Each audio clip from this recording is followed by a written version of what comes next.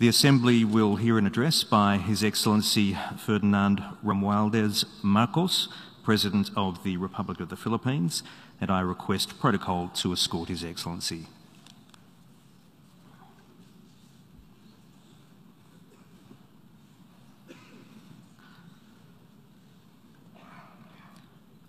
On behalf of the General Assembly, I have the honour to welcome His Excellency Ferdinand Romualdez Marcos, President of the Republic of the Philippines, and to invite him to address the Assembly.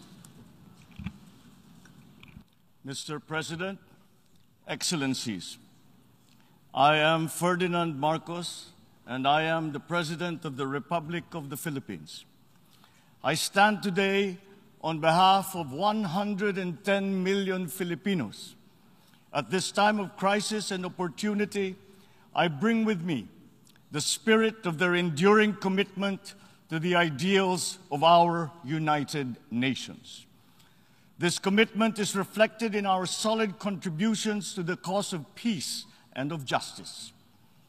By shepherding the Manila Declaration of 1982, we helped affirm that differences should only be resolved through peaceful means by reinforcing the predictability and stability of international law, particularly the 1982 United Nations Convention on the Law of the Sea, we provided an example of how states should resolve their differences through reason and through right. These two contributions provide useful guidance for our time. For amidst challenging global tides, an important ballast stabilizes our common vessel. That is, our open, inclusive, and rules-based international order that is governed by international law and informed by the principles of equity and of justice. As I have underscored, the Philippines shall continue to be a friend to all and an enemy of none. This world order traces its roots to 77 years ago. Your first Asian predecessor, Mr. President, General Carlos P. Romulo, called on our leaders then to make this floor our last battlefield, to determine in this hall whether humanity is to survive or be wiped out in another Holocaust. Our peoples chose survival. They chose cooperation. They chose peace. And by doing so, they made history. Today, history once again calls to us to make these choices. We are confronted by tectonic shifts that will inform the ebb and flow of this coming century.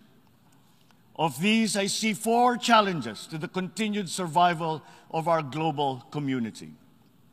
First, is climate change. The time for talk about if and when has long since passed. It is here. It is now. Climate change is the greatest threat affecting our nations and our peoples. There is no other problem so global in nature that it requires a united effort, one led by the United Nations. The effects of climate change are uneven and reflect an historical injustice. Those who are least responsible suffer the most. The Philippines, for example, is a net carbon sink. We absorb more carbon dioxide than we emit. And yet, we are the fourth most vulnerable country to the effects of climate change. This injustice must be corrected. And those who need to do more must act now. We accept our share of responsibility and will continue to do our part to avert this collective disaster. We call on industrialized countries to immediately fulfill their obligations under the United Nations Framework Convention on Climate Change and the Paris Agreement to cut their greenhouse gas emissions, provide climate financing, and technology transfer for adaptation for the most vulnerable and developing countries, to lead by example. We look forward to concrete outcomes at the Conference of Parties in Egypt later this year. When genera future generations look back, let them not ask why we did not take this opportunity to turn the tide. Why did we continue in our profligate ways until it was too late? This threat knows no borders, no social class, nor any geopolitical consideration. How we address it will be the true test of our time. Second, the development of advanced technologies is rapidly transforming human life and experience. We still barely understand how these transformations are unfolding and where they are leading. The imminent diffusion of these emerging technologies could solve many of our old problems, but they could also disrupt our political and social orders. Our governance structures must keep up.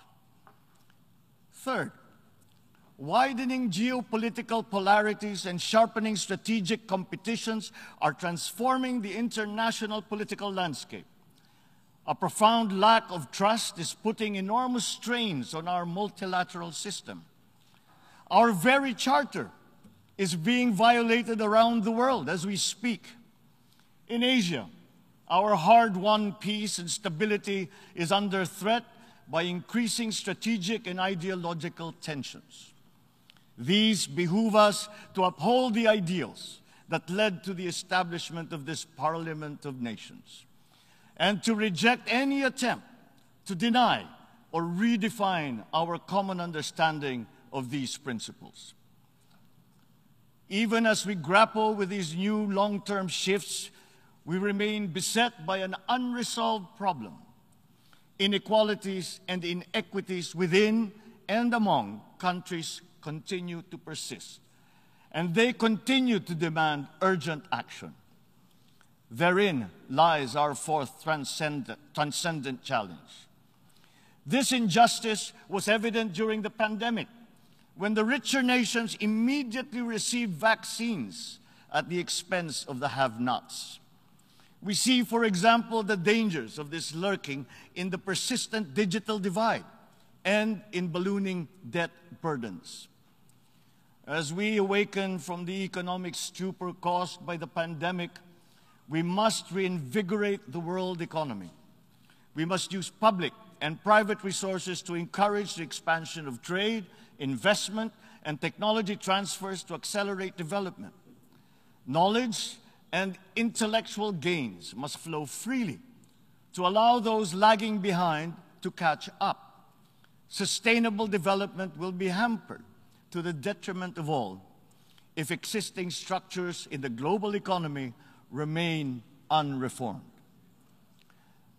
Mr. President, in these past three decades, Filipinos have achieved significant strides on our path to sustainable development. Despite the challenges of the pandemic and the global economic upheavals, we remain on track to reach upper middle income status by next year. With steady investment in food, public health, education, and other social services, we expect to become a moderately prosperous country by 2040. I am confident that we will achieve this vision. Yet, no nation stands alone.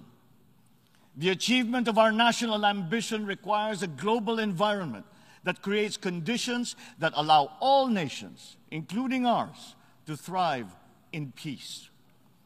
We need the United Nations to continue to work.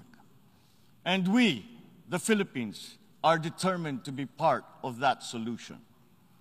The Philippines did not hesitate to donate to the COVAX facility that helped provide vaccines in many parts of the developing world. Multilateralism and international cooperation do make a difference. Filipino health workers were at the front lines in many countries to curb the spread of the virus, risking and oftentimes sacrificing their own lives to save those of others. We have always been an optimistic and courageous nation. Despite the enormity of these challenges, we believe that solutions are within our collective grasp. You, Mr. President, have already identified three tools that are at our disposal. First, solidarity. We need to reaffirm the wisdom of the founders of our United Nations. This means transcending our differences and committing to ending war, upholding justice, respecting human rights, and maintaining international peace and security. Nuclear weapons continue to pose an existential threat despite our efforts to build norms that resoundingly prohibit them. We must reject the notion of deterrence and remain committed to decreasing the global stockpile of these weapons. At the same time, we must also address the scourge of the proliferation of all weapons, be they small arms, light weapons, or improvised explosive devices. Our work must also focus on ensuring that the international system remains fair, not only for all states, but more importantly, for all peoples. This system must work for the most vulnerable, especially the marginalized, migrants, refugees. The world has witnessed the enduring contribution of migrants in the fight against this pandemic. We still dream of an end to the disturbing incidents of racism, of Asian hate, of all prejudice. The Philippines United Nations Joint Program on Human Rights is an example of a constructive approach that puts our people, not our politics, at the center of this work. It provides a model for revitalizing the structures that facilitates solidarity between the United Nations and the sovereign duty bearer. Our continued solidarity will also benefit from a reformed and more inclusive Security Council and an empowered General Assembly that can hold the Council to account.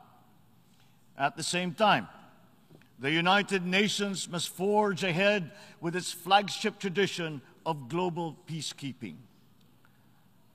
My country's experience in building peace and forging new paths of cooperation can enrich the work of the Security Council. And to this end, I appeal for the valuable support of all UN member states for the Philippines' candidature to the Security Council for the term of 2027 to 2028. Our success in the Bangsamoro Autonomous Region of Muslim Mindanao in the southern south of the Philippines is a centerpiece of these efforts. The peace that we have forged after many decades of conflict among warring factions and clansmen demonstrates that unity is possible even in the most trying circumstances. Inclusive dialogue involving all stakeholders, including women, the youth, faith leaders, and civil society, conducted with patience and good faith, has produced a credible and solid foundation for self-government that paves the way for lasting peace and sustainable development. We take the same approach in Asia. The Philippines builds partnerships for peace and development through dialogue, including through interfaith and interreligious dialogue, especially through ASEAN. In the face of great diversity, we believe that partnerships from the, form the bridge to unite all of us in promoting peace and stability in the Asia-Pacific region. Our global community is only as strong as we make it.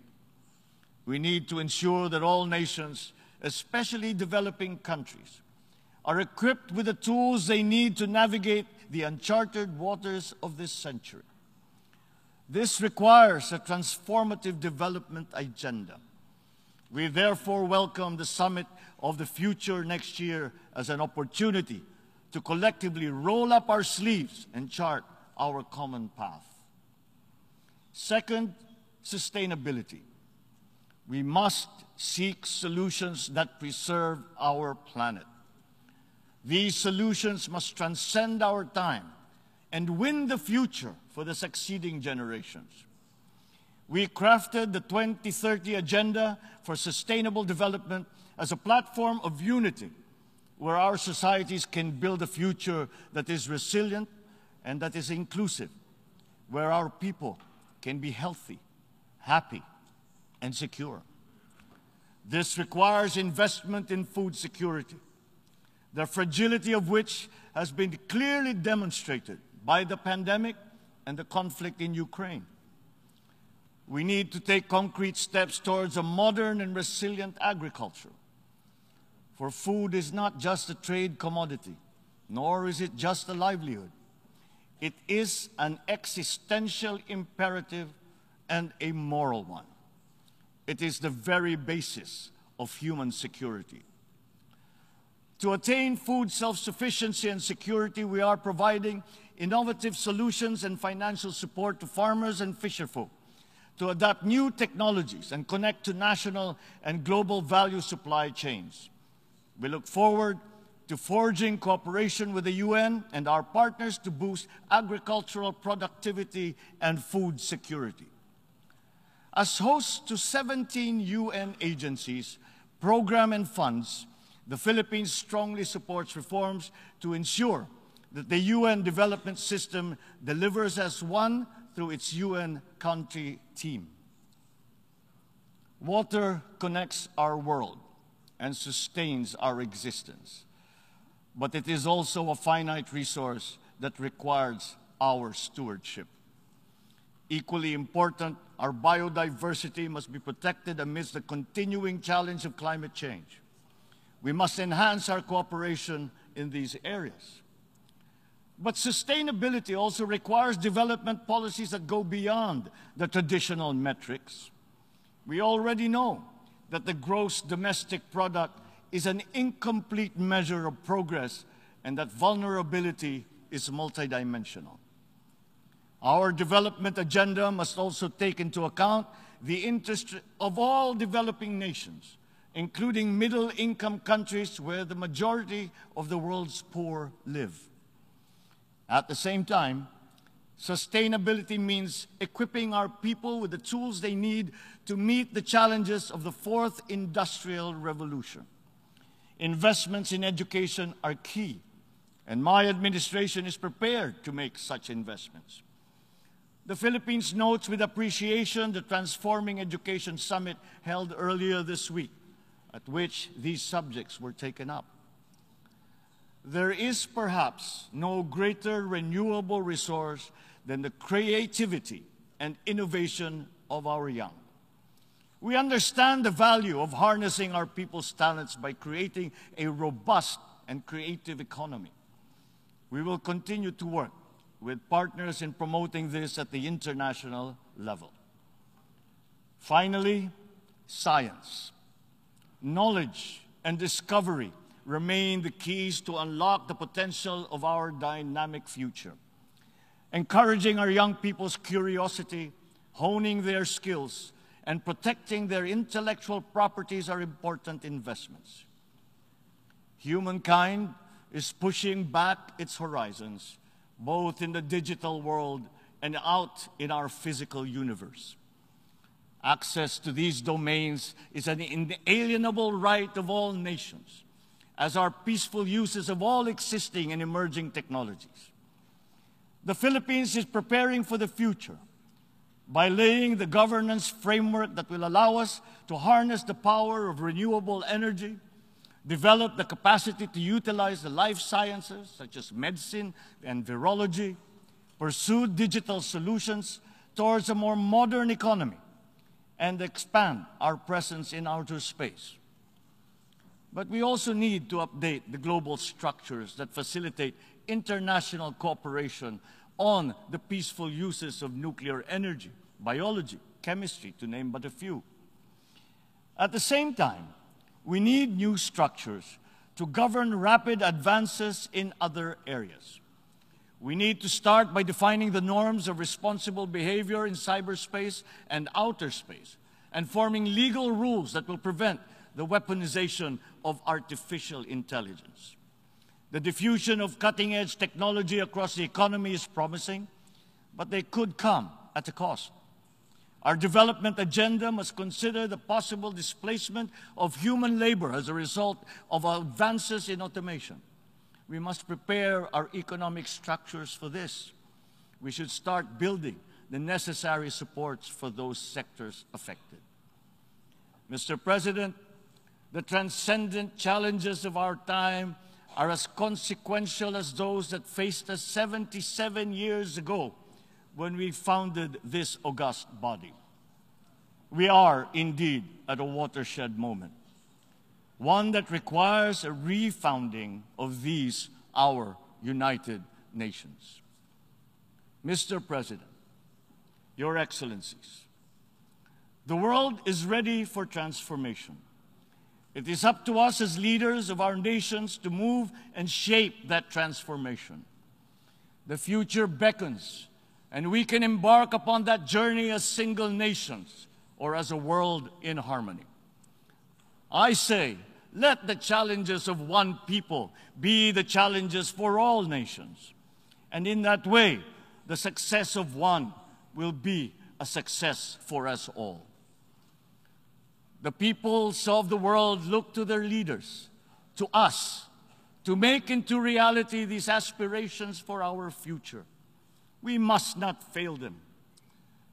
And if we stand together, we will not fail them. If we stand together, we can only succeed. Let us dream, let us work for those successes for all our nations united. Thank you and good day. On behalf of the Assembly, uh, I wish to thank the President of the Republic of the Philippines for the statement just made and uh, request protocol to escort His Excellency. The Assembly will